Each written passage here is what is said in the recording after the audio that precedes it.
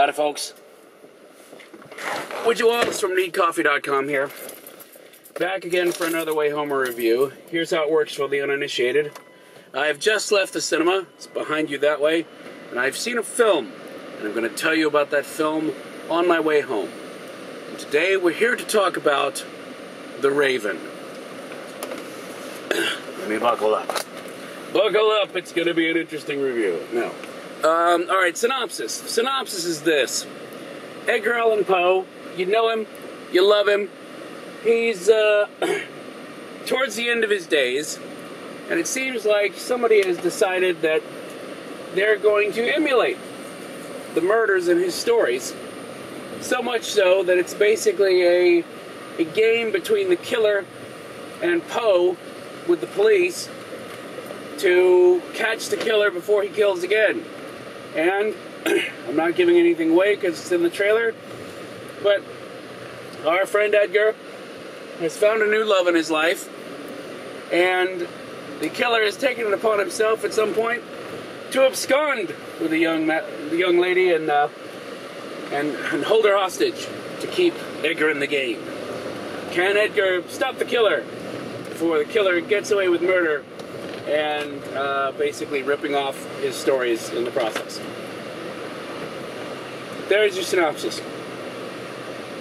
Now, on one hand, everyone's first reaction to this, I think, fairly universally, was John Cusack is Edgar Allan Poe. And my thought was John Cusack is Edgar Allan Poe, yes.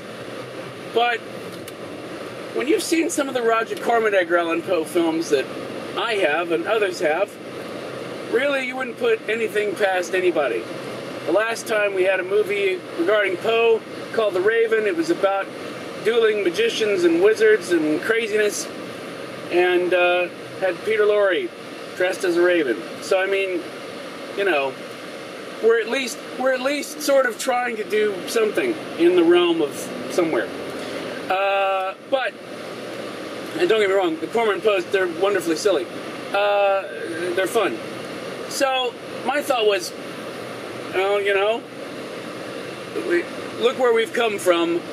If, if you're trying to do some sort of serious Poe related thing, um, at least there's hope. Because I mean, really, you've got the Corman Poe films, and then Poe has been remade lots and lots of times, normally for very low budget and normally not very well. So I held out some hope. And I like John Cusack. And really, the trailer. The trailer made it out uh, to be what I was calling Sherlock Holmes Game of Shadows. I mean, uh, Edgar Allan Poe Game of Shadows. See, it just trips off the tongue like that. Um, and uh, and I thought, well, it looks like it's really going to be in that direction.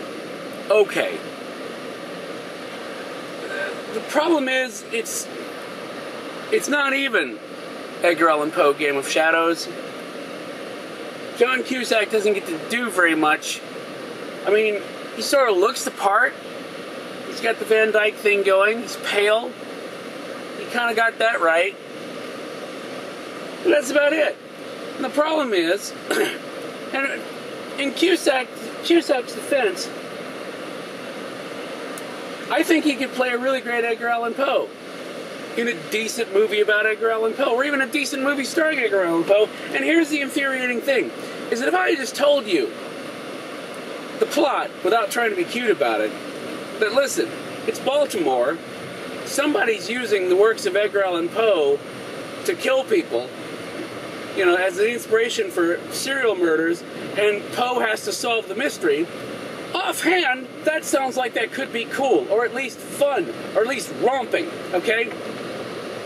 This thing, I mean, to quote Python, it wouldn't romp if you put 5 million volts through it, right? I think it's paraphrased. I think it was 4 in the original. But regardless, the problem is the script just sort of hangs there.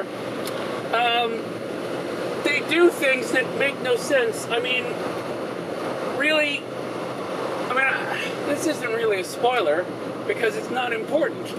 But I, I've never heard the bit about Poe having a pet raccoon. I mean, I almost expected that they thought it was going to be an animated spin-off where it could be Edgar Allan Poe and that's his sidekick, the talking, you know, raccoon. A pet raccoon? I don't remember that part. Now, I, I don't consider myself the greatest Poe scholar in the world. Maybe I missed that. And I'm not even going at this from the standpoint of, well, this isn't realistic. I don't remember him writing that bit, and I don't remember this or that. No, that's not what I'm talking about. You have an obvious divergence in historical fiction here. That's fine. But it's not very entertaining. It's not a lot of fun. It's not romping. It it almost it's almost like rather than trying to make it into this really nice homage to Poe all the way around, it almost feels like they said, uh, I got an idea. What if we said, let's take an author, any author, and well, hopefully one in the public domain because we don't want to pay anybody, and then let's use them as the as the you know the, the protagonist in a serial killer film. I don't know. Well, who's in the public domain? Poe. It felt like a. It felt like they went in it backwards, because really, you could almost take. And again, apart from the, the style of the murders and, and the and the and the stuff like that, you know, just change up the murders and really, you could put any crime author in there, assuming that they're in the public domain. You'd have to pay to get the rights to the stories. So it didn't even have that homage to Poe feel to it, which would have made it kind of nice. There's one bit, one bit that is worthy, and that makes you wish that John Cusack was playing Poe in a better Poe movie. Is that when he's talking about the death of his young wife Virginia, which I'm glad they addressed because I'm sitting there going, okay, I know this is supposed to be historical fiction, but you really can't leave that out. That scene where he's talking about that is really the most effective thing in the film. And it makes you go, well, why didn't you just do, you know, John Cusack, if you wanted to play Poe, let's get you a Poe biopic and let, let you go nuts. You can obviously do it based on this scene. So that felt really well written. It was really well written, turning into Jonathan Ross. It, uh, it, was really well written and felt like it was from another movie. It stood out so much. But you have just scenes that linger too long. You've got scenes that are unnecessary with unnecessary gore. And you know me, I'm fine with gore. But I'm just like, really? You're not gonna you're not gonna turn the camera right. Really? You're gonna show us this. Because if you turn the camera away, away right now, it would be really effective, but no, you don't know effective. You're just going to linger on that shot. Okay? All right. Whatever works for you, buddy. I mean, it's just disappointing all around. The action sequences aren't very thrilling. The chase isn't very thrilling. It just feels like it, it's constantly trying to get out of first gear when it's projected itself as as a you know as an action adventure type of serial killer chase thing. But there's not a lot of you know action or adventure. Just disappointment and frankly resentment. Because like I said, this the, the premise itself is really cool, but they just don't really do anything with it. And it's not really anybody. The cast's fault, especially Cusack. It just felt like it needed a better script I mean, I'm not even going to say, well, I won't even say, you know, I could have done a polish here and there. Probably need a completely different script, to be perfectly honest. Um, and better editing and directing. It just pretty much was disappointing. And sort of infuriatingly so, because now, anytime that you want to take this, because you've already proven that it seems to me that your entire idea was insert author into serial killer movie which could be cool, but instead you've kind of screwed that up for a while now. There, if, if anyone does one, they're going to go direct to video. So, disappointing all the way around. Anyway, so, cup wise, I'm giving it half a cup for that one scene. Because that one scene was pretty great. That was the one where I actually felt engaged. Cause, oh, because part of the other problem is that okay, Poe in real life, having never met the man, don't know, may have been the insufferable prick that they painted him as to begin with, completely full of himself, and not anyone you would want to know in real life. But it's not a great way to endear us to your protagonist. I mean, basi- I'm, I'm like going, at that point, uh, you know, he's such a prick. And I love Poe, but this Poe is such a prick that I'm going, man, I haven't even met the killer, and I'm rooting for the killer at this point. Jesus Christ, man. So, that's not good. So finally, with that one scene, you you see not justification for him being a prick, but just you get some sort of human connection with him whatsoever.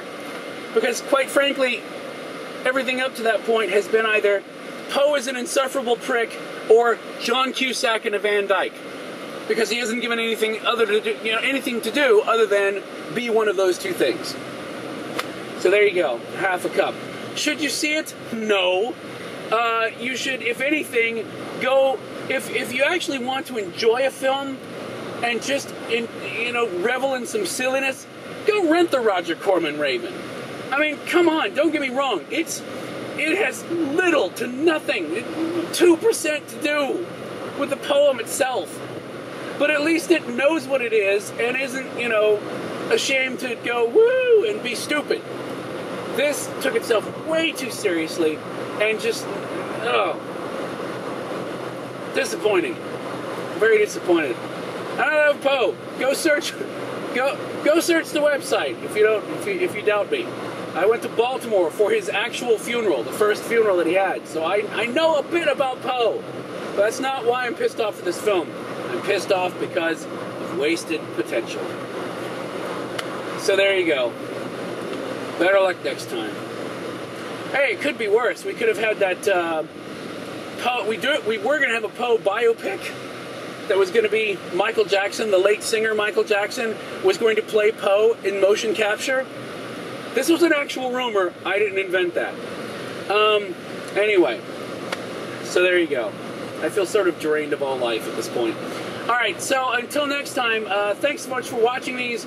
Uh, as always, uh, if you do enjoy them, share them with someone, and, uh, and come find us on Facebook. We don't bite normally. Needcoffee.com slash Facebook will take you right to us. And uh, please, if you like the Wayhomers, like us on Facebook and help spread the word. So until next time, uh, we'll see you then. Bye.